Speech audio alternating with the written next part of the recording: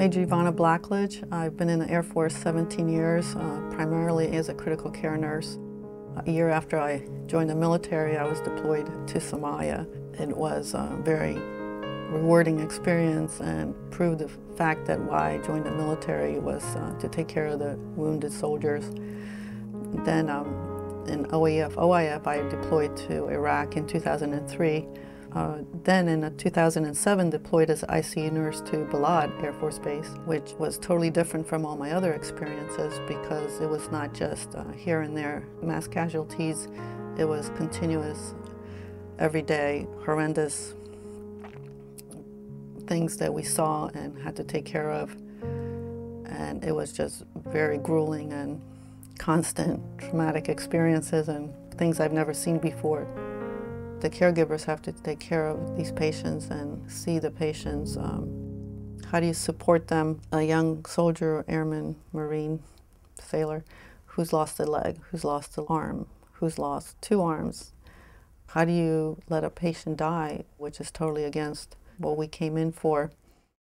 Things are so nice when you come back initially for the first two months and then the regular life sets in and you start having trouble sleeping and thinking about your past experiences.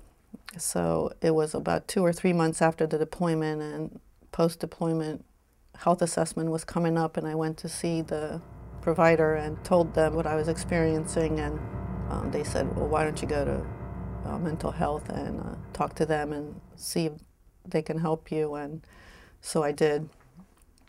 And took about um, six months after that, and I felt that things were slowing down and getting better.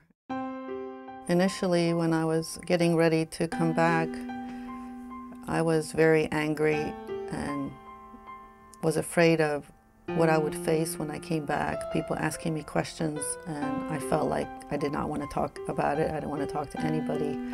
But then when I came back, I realized I really wanted to tell my story and my husband and I were discussing um, very recently experiences and like I told him, but I don't want to forget.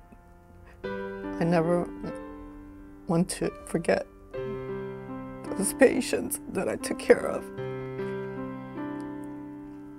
I would have never um, done this without the support of my husband. But now I realize um, how beneficial it is to share your story. But first of all, you have to be ready to tell your story. This generation seems to want to talk about it, and it, it's very um, therapeutic, so everybody should be given a chance to tell their story.